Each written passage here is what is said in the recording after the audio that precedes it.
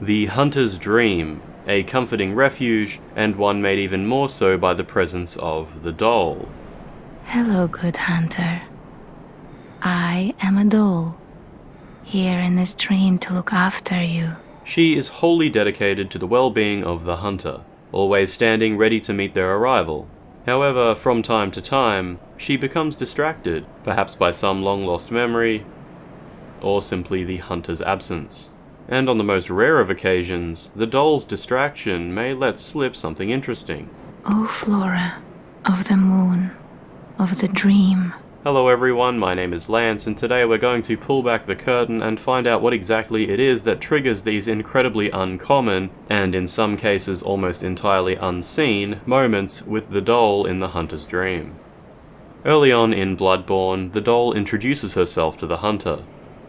You will hunt beasts, and I will be here for you. After this has happened, upon subsequent visits to the dream, sometimes the hunter will come to find that the doll has fallen asleep in her usual spot. If approached, the bottom section of the screen is darkened, as if dialogue is being delivered. This fades away after a moment, or can be dismissed by pressing the action button. She won't wake up on her own if she falls asleep here, and needs to be awoken by the hunter. Welcome home, good hunter. I must have drifted off. What is it you desire? If we switch the game language to Japanese, there is actually a minor subtitle for the moment where she's approached while asleep. This also gives us a chance to hear her Japanese voice work. ah, okaeri nasai, Kariuda-sama. Sumimasen. 私はどこかにどうぞ何なりとお申し付けください So what causes her to drift off like this? It is simply, in fact entirely, random.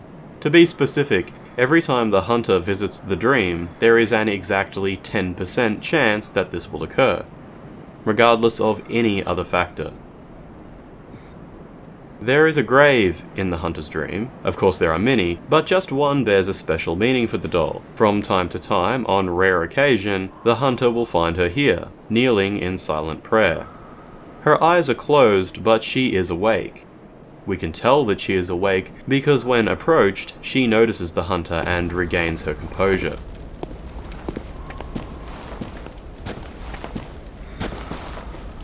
Welcome home, good hunter. What is it you desire? She gives no apology and simply resumes her normal conversation. May you find your worth in the waking world. Just as before, this too occurs on a purely random basis, also being an exactly 10% chance each time the hunter returns to the dream. However, there is one caveat to this.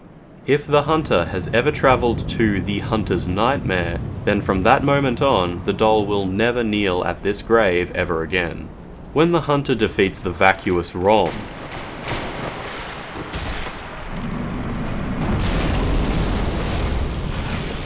breaking the ritual secret in the waking world, things also change in the dream. The sky darkens, and even the music takes on a more somber tone. And something else changes with regard to the doll. Provided that the hunter's nightmare has still not yet been visited, then indeed she still has a 10% chance of kneeling silently at the grave.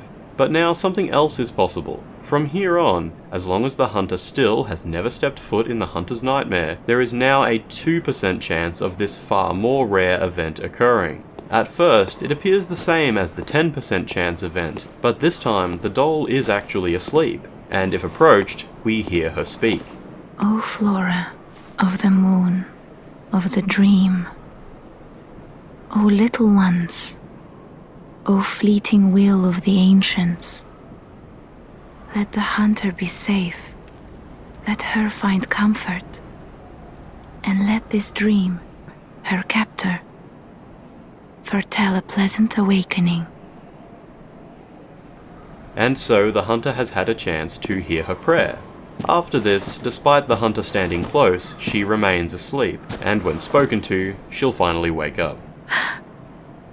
Ah, welcome home, good hunter. I must have drifted off. What is it you desire?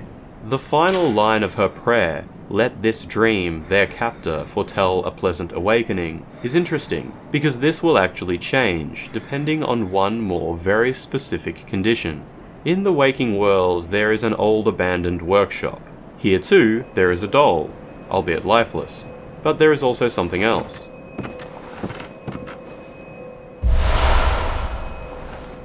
A very small, ordinary hair ornament. Returning to the dream, with the hair ornament in their possession, the hunter is able to give this to the doll. What? What is this?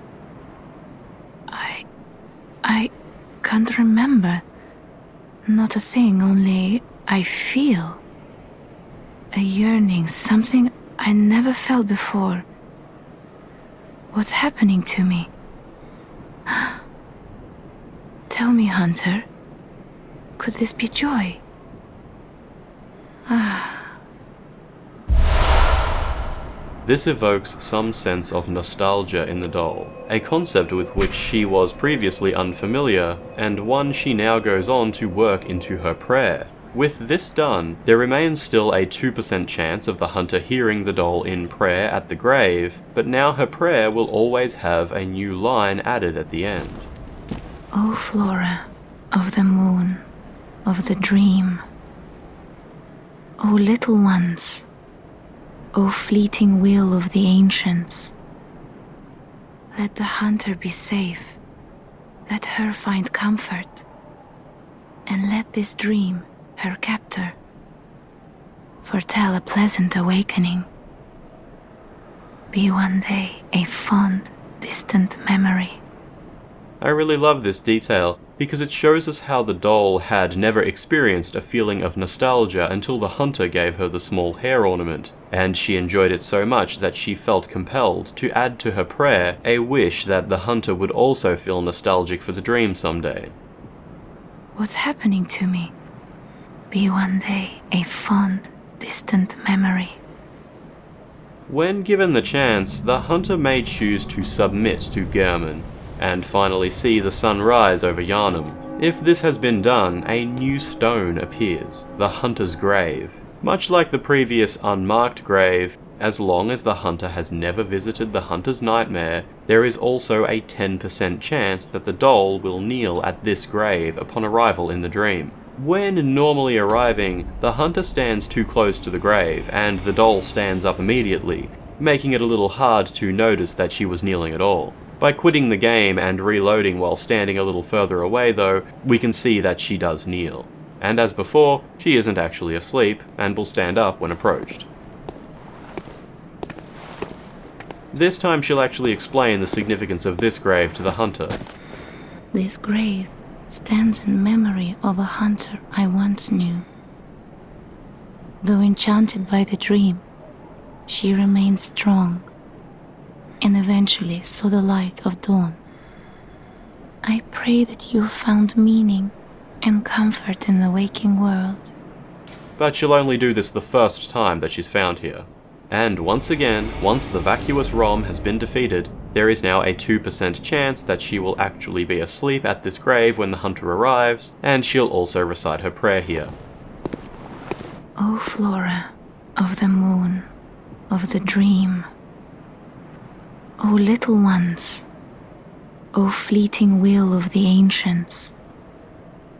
Let the hunter be safe, let her find comfort, and let this dream, her captor, foretell a pleasant awakening.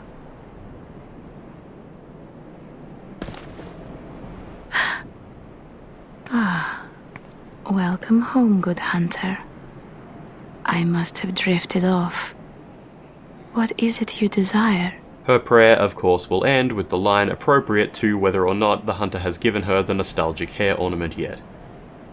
And let this dream, her captor, foretell a pleasant awakening.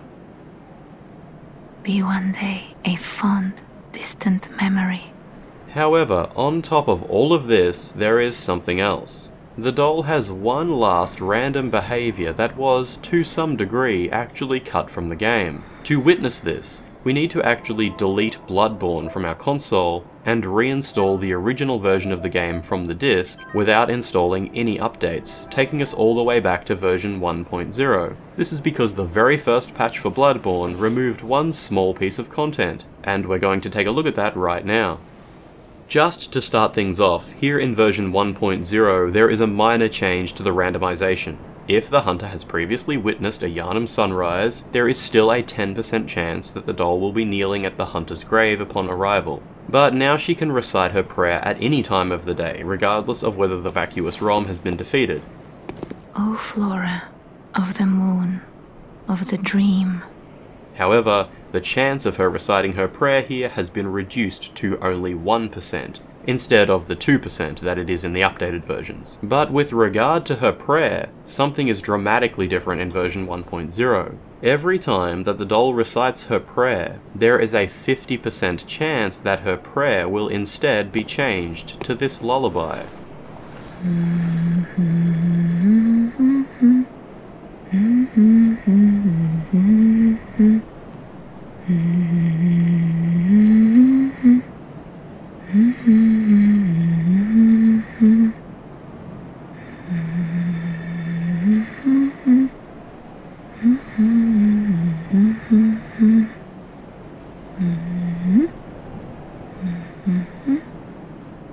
will only ever do this in version 1.0, and she will only ever do it at one of the two graves. Mm-hmm. Mm-hmm. Mm-hmm.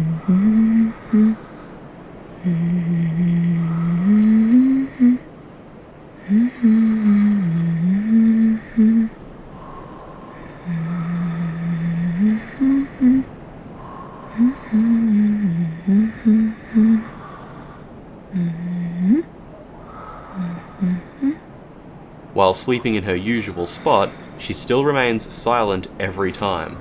So not only is this an extremely rare event, it also only ever occurs in the unpatched game, as it was removed in version 1.01. However, there is still one last thing. On that incredibly rare occasion that we are running version 1.0 and the hunter happens upon the doll humming this lullaby in her sleep, if we quit the game here without leaving the dream, and then upgrade the game to the latest version, we'll trigger a glitch. By upgrading the game at this specific moment, the flag that was removed from the game, which triggers the lullaby, will actually get jammed on for this save file. When this happens, from then onwards, anytime the doll is supposed to say her prayer or silently falls asleep at her usual spot, she will instead always hum this lullaby.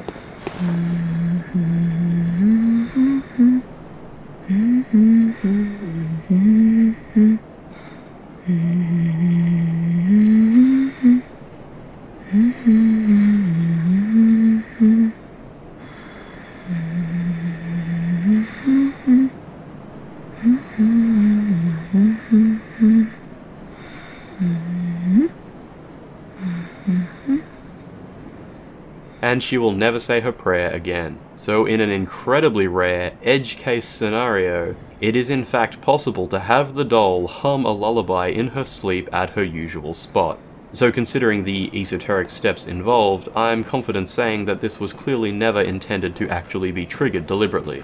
We've obviously covered a lot of information here, so I'll leave a comment below just giving the raw numbers and criteria for every one of these events. But I hope you found it at least a little interesting to finally know exactly what triggers these rarely seen moments. It's a little disappointing to find out that random chance plays a key role here, but also nice to know how little actions such as the hair ornament or time of day can have a dramatic effect as well. Regardless, it took a lot of work to reverse engineer all of these events, especially that situation with the lullaby, so if you did enjoy this, feel free to let me know by hitting the like button, or even leaving a friendly comment below. You can find more ways to follow and support my work in the description, and either way, thank you for watching, I'll see you next time. Mm-hmm. Mm-hmm. Mm-hmm. mm-hmm.